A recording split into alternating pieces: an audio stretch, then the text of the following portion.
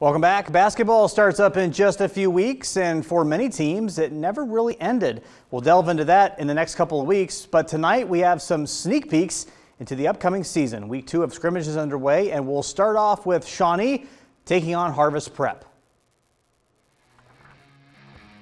Some preseason basketball action for you, and Shawnee looking strong on rebounding. Tyson Elwer putting in his own miss in this one. Then some familiar names coming up. How about George Mangus driving in for the nice floater as he looks to repeat his great season last year. Mangus again with a layup on a drive to the hoop. And then some great passing, something Shawnee did very well. Mangus getting another one.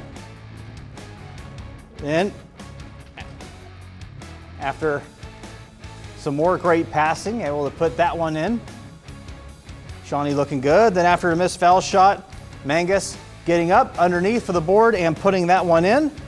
And just, just a nice night to be out playing basketball. Elwell scoring down the lane and Shawnee getting after it with Harvest Prep as we take you to St. Mary's and Crestview. The Knights taking the court at Etzler Gymnasium and Kalen Etzler handing off to J.J. Ward and Ward buries the triple for the Knights.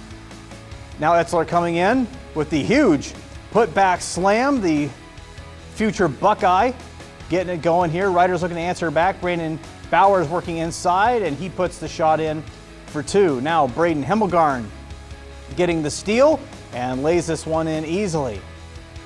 Etzler now getting the pass inside, and the dunk extending the Knights' lead. Now Etzler on the break finds an open Ward, and he's going to lay this one in with no problems. And Latrey Williams answering back with a turnaround shot up top of the key for two.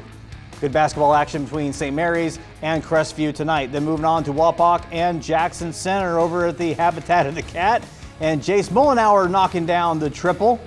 Well, some of these guys look like they're in midseason form. Then it's Trevor Sosby. He hits the three.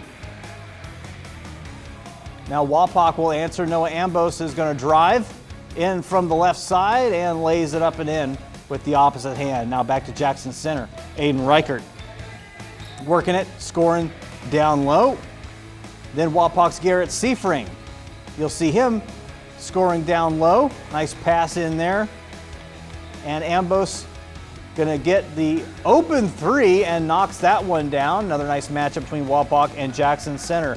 Lastly, let's show you some girls scrimmage basketball action to the bathtub. Bath taking on West Liberty Salem in a scrimmage. Chandler Clark inbounding it.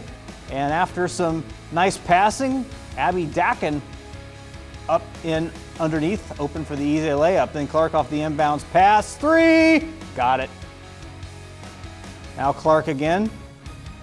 We'll see her running the floor. Gonna drive in.